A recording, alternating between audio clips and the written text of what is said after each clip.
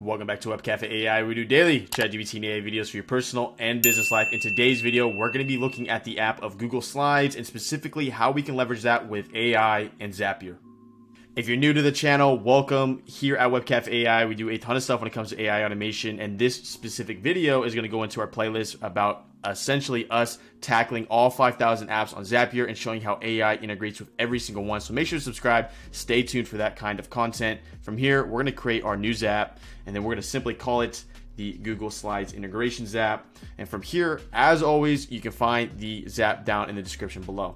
So in today's context, we're going to go ahead and use Google Slides and one of the specific actions found in Google Slides, which is going to be basically setting up a new slide presentation off a template. So we're going to start off with just a simple trigger of a scheduler. So maybe there is some context where you want to make this, you know, different slide presentation every XYZ day. We're going to go ahead and do every day. We're going to go continue and then time of day, we'll just go ahead and proceed with noon, continue, test this action.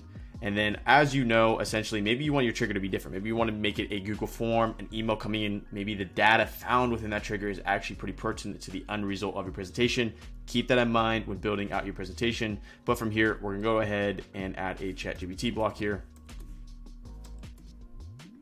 And we're gonna go ahead and say conversation, continue, continue. And then before we flesh out the user message, let's go ahead and build our template over on Google Slides.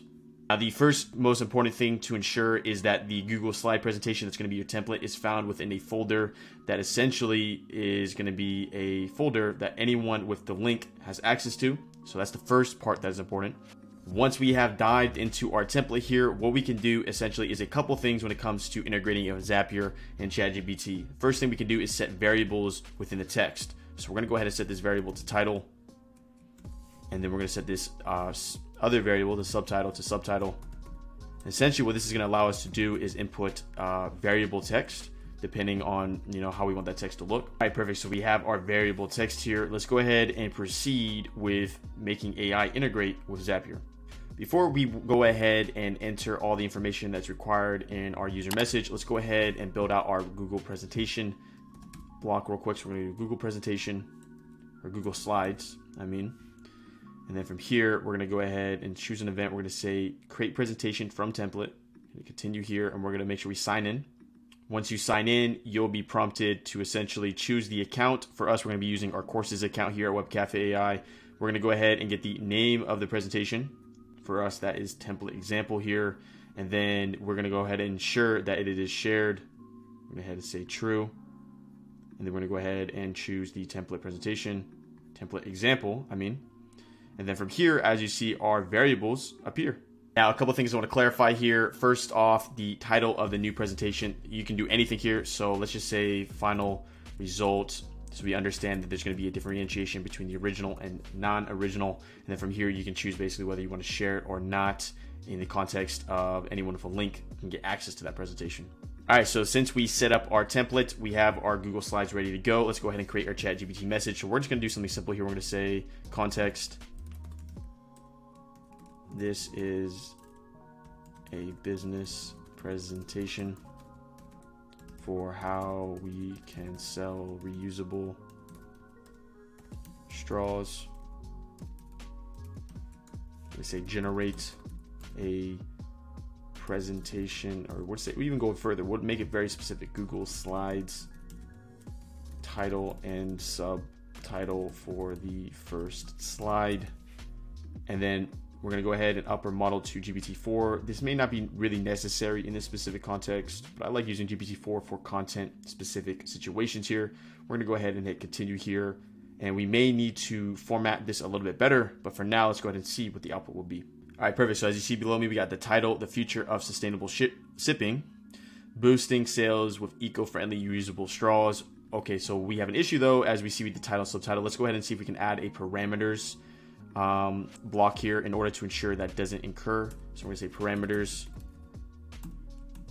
just generate the title and subtitle, no text before or after. If this doesn't work, I have another solution here we can use, which will essentially require a formatter block from Zapier, but let's go ahead and see if this works. All right, so that didn't work in this context. That's completely fine. Let's go ahead and add a formatter block and you'll learn something new in this tutorial. So let's go ahead and add a formatter block here. And we're gonna go ahead and choose the event of text. And what we'll do is a couple things. The first thing we're gonna do is we're gonna split. So we're gonna do split, split text, and we're gonna do the input of what was just incurred there, which is right here.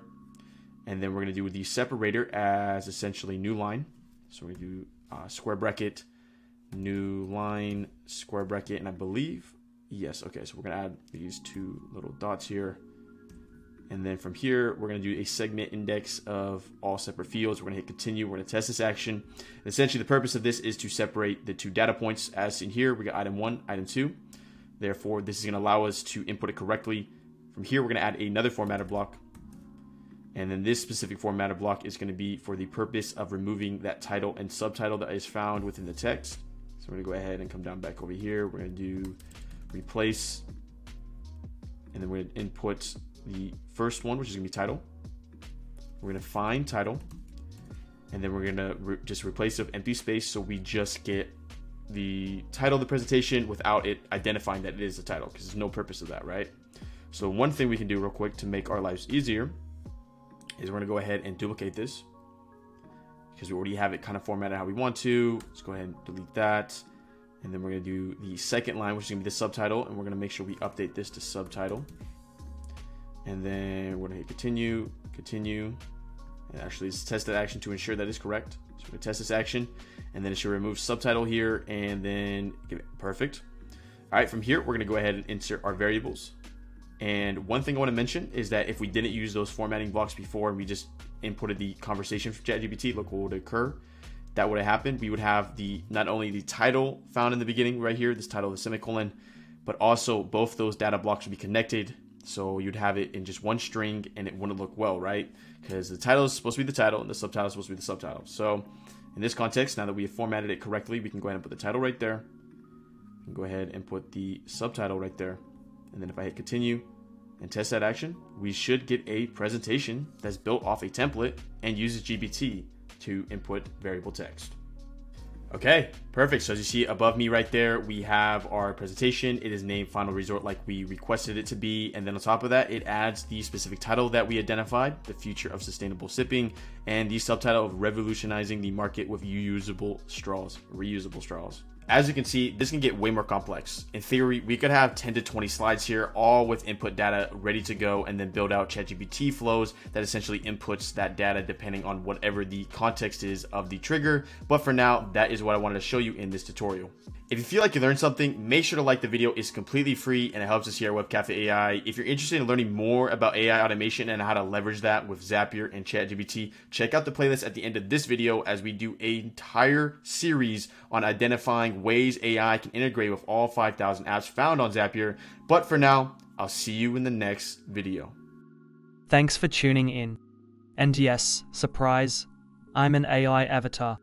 Make sure to explore more here at Web Cafe, where we demystify AI for your personal and business life. Until next time.